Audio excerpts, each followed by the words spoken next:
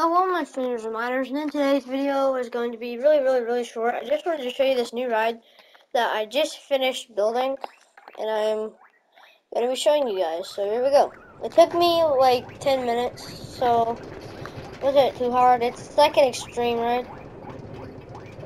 Like, it didn't take too long.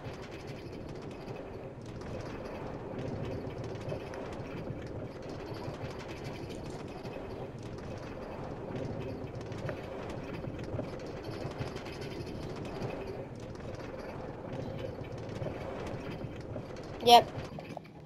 That's basically the ride.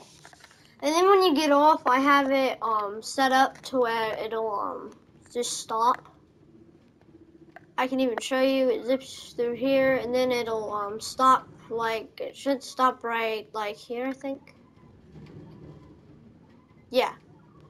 I just set up to where it'll stop. But yeah, that's basically the ride. Hope y'all enjoyed.